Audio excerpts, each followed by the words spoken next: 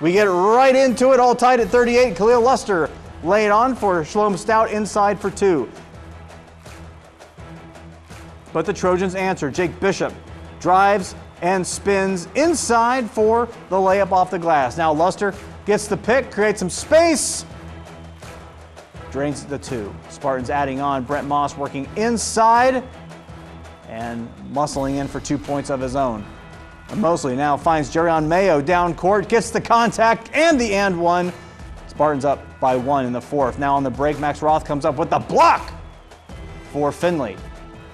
Now Roth getting the handoff, pulls up near the top of the key, right there at the elbow. Two pointer is good. Spartans up four. Mayo lobs this one up for Moss, slams it home, extending the Spartan lead. Now Moss again working inside, spins inside for the layup. Lima Senior taking care of business at home tonight, 63 to 49. Moss with 22 points. Lester chipping in 17 for the victorious Spartans, and this one on tomorrow night at 9 p.m.